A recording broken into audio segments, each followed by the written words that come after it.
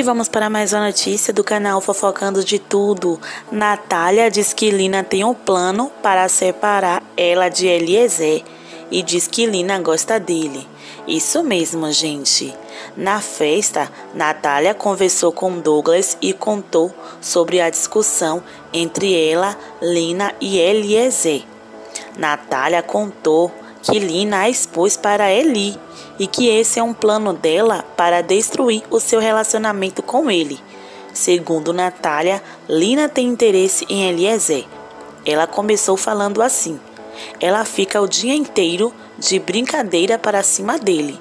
Ela gosta dele. É só ele piscar que ela vai.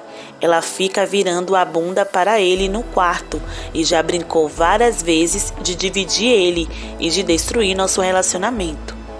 Natália ainda contou que após a discussão, Lina foi procurar ela para perguntar como ela estava. Natália falou: Ela veio falar comigo e eu falei: sai de perto de mim.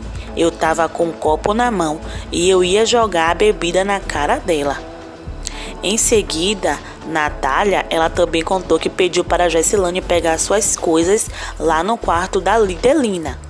Porém, Jessilane não pegou e disse: Vai pegar você. Eu não vou pegar, não.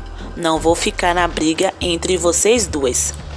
Depois de ter escutado o desabafo de Natália, Douglas aconselhou Natália a ir procurar Lina amanhã para conversar, que no caso é hoje, né? E Natália disse: Eu não quero mais, não quero mais amizade. Eu vou ficar sozinha aqui na casa. Não quero conversar. Eu já conversei várias vezes, falei assim com ela. Eu tenho ciúmes do menino. Aí ela continua com as mesmas atitudes.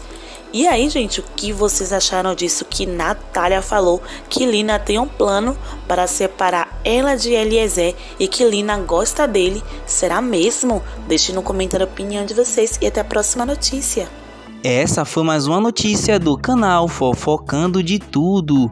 E aí, gente, o que vocês acharam dessa notícia? Deixa aí a opinião de vocês no comentário. Deixa aquele like e ativa o sininho para não perder nenhum dos nossos vídeos e ficar por dentro de todas as notícias dos famosos. E até a próxima. Tchau!